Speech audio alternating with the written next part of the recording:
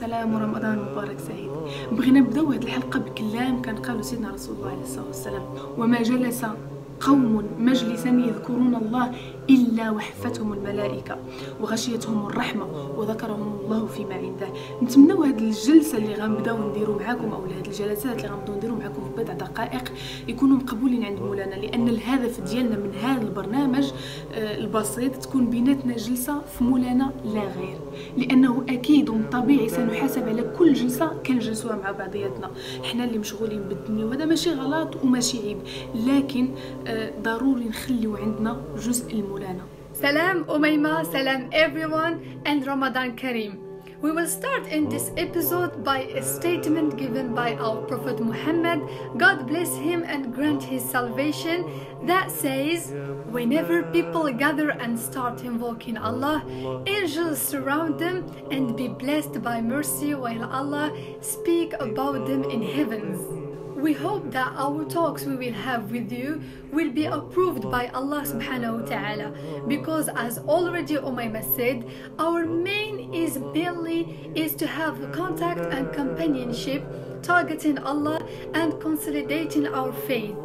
Also, worldly occupations should not distance us from our divine duty of worshipping Allah subhanahu wa ta'ala. في حلقة اليوم وكيف ما وعدناكم آه غادي نشرحوا الفرق ما بين الصحبتين الصالحة والطالحة بدون شك معظمنا واعين بدور الصاحب يا إما هو ساحب لما هو خير وداكشي اللي مزيان أو لا ساحب ما هو خير. وهذه مسؤوليتك تجاه نفسك كمسلم اللي أكيد أيضا ستحاسب عليها. In this episode, and as we have promised you, we will explain the difference between good and bad companionship. Everybody is undoubtedly aware of good as well as bad companions, which is your choice, and of course, you are responsible for it. ابن عطاء الله السكندري الملقب بقطب العارفين كان قال لا تصاحب من لا ينهض بقلبك حاله ويدلك على الله مقاله بمعنى ما تصاحبش إلا من ستنتفع بصحبته. وبمعنى آخر فلما كتصاحب الصالحين فكيولي عندك العزم بمنهجهم وهي خطوة نحو التوبة.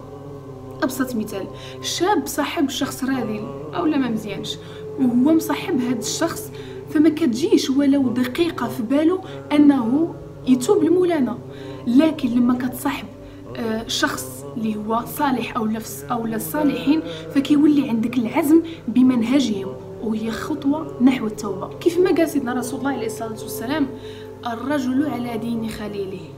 فلينظر احدكم من يخالي بمعنى ان الانسان كيتاثر بشكون كيصاحب فيوم القيامه الصديق مع الصديق اللي ماشي هما مع ربي كيتبرؤوا من بعضياتهم ابن عطاء السكندري wants to say that we should avoid anyone who does not raise our awareness and lead us to Allah subhanahu wa ta'ala.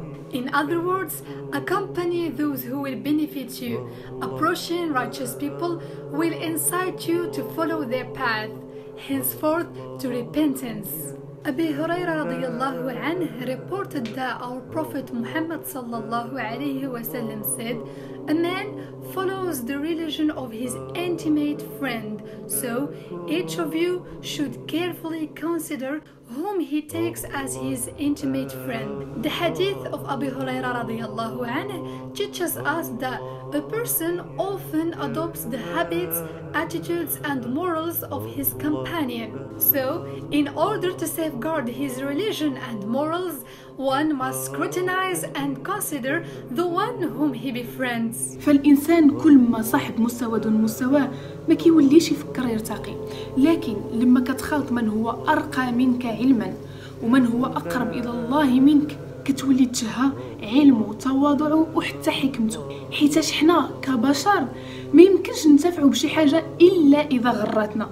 وهنا كتختار يا إما أنك تكون عبدا لله وإما أن تكون عبدا لعبد لئيم. The connection between believers is based upon faith and sincere brotherhood.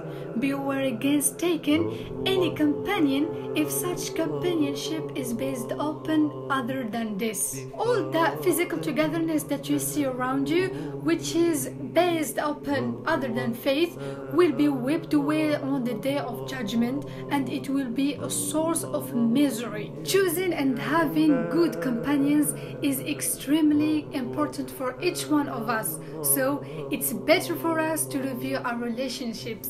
طريق القمة واعر وصعب جدا ولكن طريق الانزلاق فهو سهل ما يبنيه الإنسان من خلال صحبة الصالحين في شهر في سنة أو حتى في سنوات فيقدر يهدمو من صحبة الطالحين في يوم واحد الإنسان حينما يألف قوما يتخلق بأخلاقهم وتفكيرهم فمن الأحسن نعود النظر في العلاقات ديالنا سلام سلام.